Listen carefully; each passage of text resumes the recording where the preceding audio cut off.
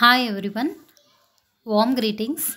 I am Dr. Chandrakala, second year radiology postgraduate at Vinayaka Missions Medical College and Hospital, Karaikal, Puducherry, under the guidance of Dr. Kanishka Patel and Dr. Upin, Professor and HOD of Radiology Department at Vinayaka Missions Medical College and Hospital, Puducherry.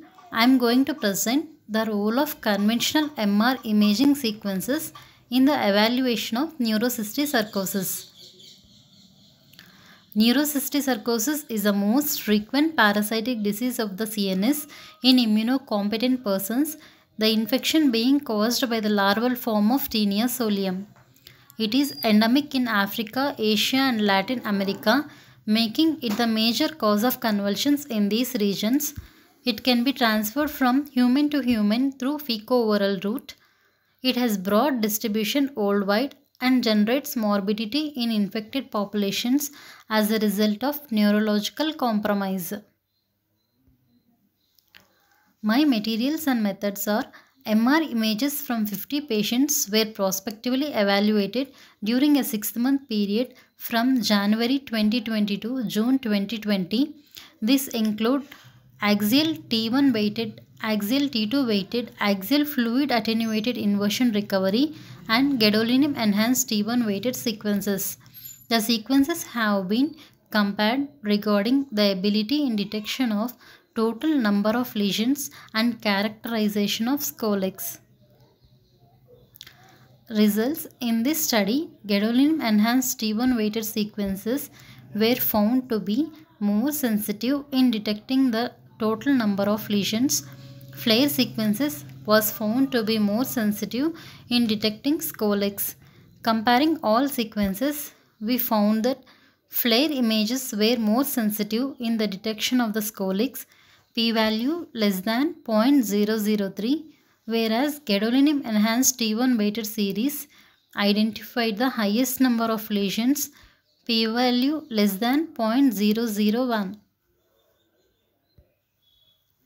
Discussion Neurocysticercosis is caused by the parasite Taenia solium, which has three developmental stages egg form, larval form, adult form. Taenia solium produces intestinal infection in its adult form, that is teniasis, or an invasive infection in its larval form, that is cysticercosis. According to imaging studies, neurocysticercosis is classified into five stages that is non-cystic, vesicular, colloidal vesicular, granular nodular, calcified nodular. Non-cystic, asymptomatic, cannot be identified in imaging studies, detectable only by lab tests. Second one, vesicular, presence of multiple cysts of different sizes less than 20 mm distributed in the subarachnoid and perivascular spaces with characteristics similar to CSF, scoliosis being demonstrable in 50% of the cases. Third form, colloidal vesicular, present with signal intensity different from CSF, being slightly more hyperintense, a fibrous capsule which is enhanced after contrast injection and perilesional edema is present. Fourth form, granular nodular, cystic retraction and collapse leads to the appearance of nodular structures which shows enhancement of after contrast injection, perilesional edema present. Fifth form, calcified nodular, total involution of inactive non-vital cyst with calcium deposits best observed in CT. First image shows CT image showing cystic lesion adjacent to cortical surfaces of temporal and occipital lobes. Larger lesions having a small nodule inside corresponding to a scolex. Second image shows MR-T2 sequence showing cysts with similar signal to LCR.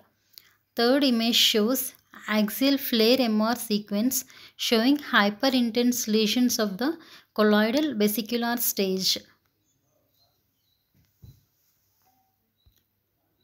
Fourth image shows axial T1 sequence showing nodular lesion with intense enhancement of the gadolinium injection in a patient with neurocysticercosis granular nodular stage. Fifth image shows CT scan showing multiple calcifications in nodular calcified stage in neurocysticercosis.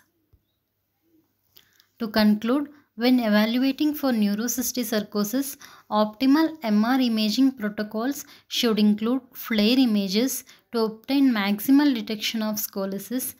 Gadolinium enhanced sequences would provide the highest number of lesions detected.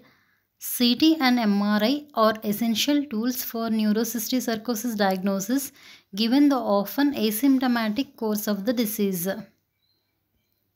These are my references. Thank you.